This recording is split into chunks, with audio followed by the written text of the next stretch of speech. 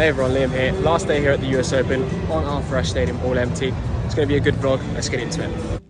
Well, the day started and it was our last day at 2023 US Open. Nine days in a row, including the Sunday fan day. And first thing we did, we headed straight over to Louis Armstrong Stadium. As you can see there, they were closing the roof because it was way too hot outside. I mean, we were in the sun outside in the morning and it was boiling. You couldn't, you just couldn't breathe. We were watching Vondrousova against uh, Kate Stearns, and obviously that was a really good match.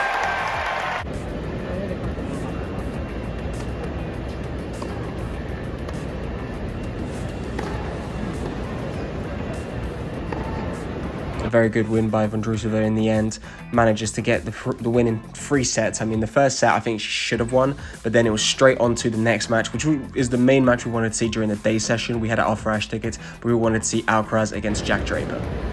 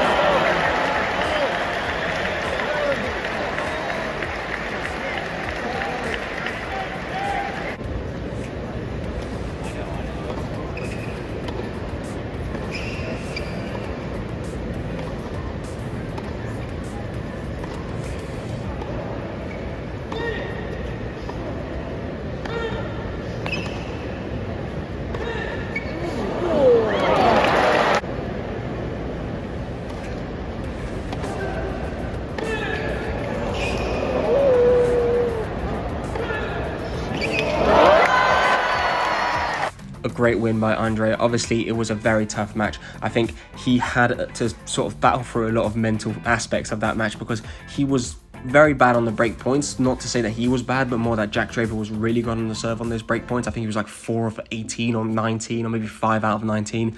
And you know what? He had to really battle through that one, but that was a great win for him. And after that one, we headed out, out of Armstrong, had a little look around, a little walk around. I think today was really good as well because obviously there's not that much play going on on the outside courts. So mainly people were on the on the big courts, and we could have more of a walk around. As you can see, we had a little bit of a pathway which we found that no one really knew about, and so there's less people, and they've got so many good facilities there at the US Open. The food and the vibes great. I even got myself a little souvenir cup, and then saw again Feliciano Lopez and Tim Henman at the Sky Sports booth right next to Arthur Ashe Stadium. As you can see, it was a really hot day, so they did have a fan whilst they were on camera. They were getting fanned so they didn't look too sweaty, and then it was time to head over to Arthur Ashe for the night session, which I was very excited about. As you can see, look, there's so many less people on the outside courts. There's basically no one there on the practice courts. There's no one watching. So it was, you know, if you really want to come during that week of the US Open, it's good as well because you can sort of get more of an easy atmosphere going on. Then we headed on to Ashe, and as you can see, the Carota boys were there, and it was up for the first match of the night session. Aryna Sabalenka against Daria Kasatkina, and I mean, the quality of this match from Aryna Sabalenka was just out of this world.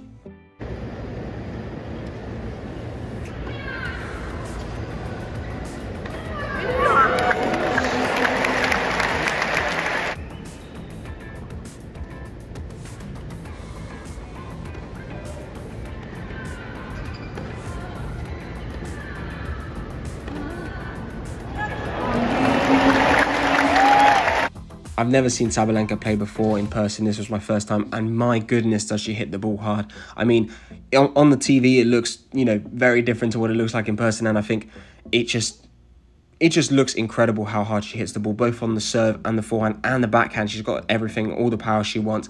And then in between matches, it was a bit of a light show on Arthur Ashe, which was great. And then it was time for the main event of the evening, the match that everyone was there to come and watch. Alexander Zverev against Jannik Sinner. I mean, the entire crowd was really ramped up for this one. The Carota boys were there, as I showed you before. They were getting everyone riled up in the crowd, and the vibe was great as well. And the match was quality. Just check out some of these points. Thank you.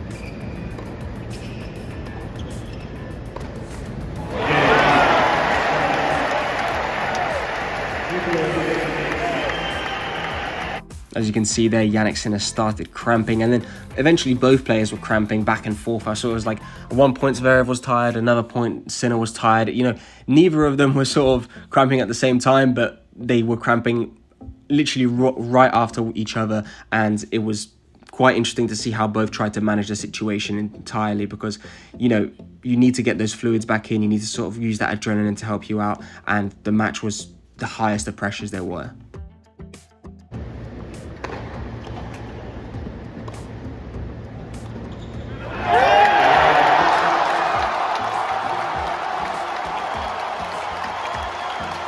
it was like 1 a.m. and the fifth set was just about to start. So I was like, you know what, let's just go down, get ourselves some better seats, as loads of people were leaving. And to be honest, it was definitely worth it.